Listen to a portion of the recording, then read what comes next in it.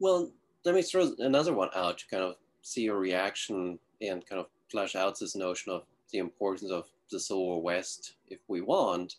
Um, maybe what we have here too is not just all the things that you mentioned with regard to the political economy and kind of influences, slavery, but maybe we also need to see it as a reminder that while 100,000 US soldiers are slugging it out with 65,000 Confederates in, in the wilderness or on the grounds of Shiloh, for the rest of the country, the world is still going on.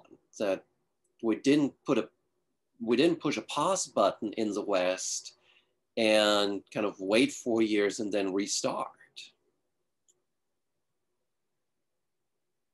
Yeah, yeah, um, and and it should be mentioned that there are more than just Confederates uh, and Federals in the Southwest are more than just mm-hmm. Confederate sympathizers and Union sympathizers. I mean, the, the key population here is the indigenous population and the multiple native polities that really held the balance of power in the region for most of its history. And that balance of power, like I say, shifts in fundamental ways during the war itself. Um, but their objectives didn't align with either the North or the South. Um, they had their own vision for how this region should look. Um, and they used the war ultimately as a uh, as an opportunity to exert a little more sovereignty in the region. Ultimately, they failed, um, and they failed for a whole set of complicated reasons that I think historians like Megan Kate Nelson are really good at unpacking, understanding.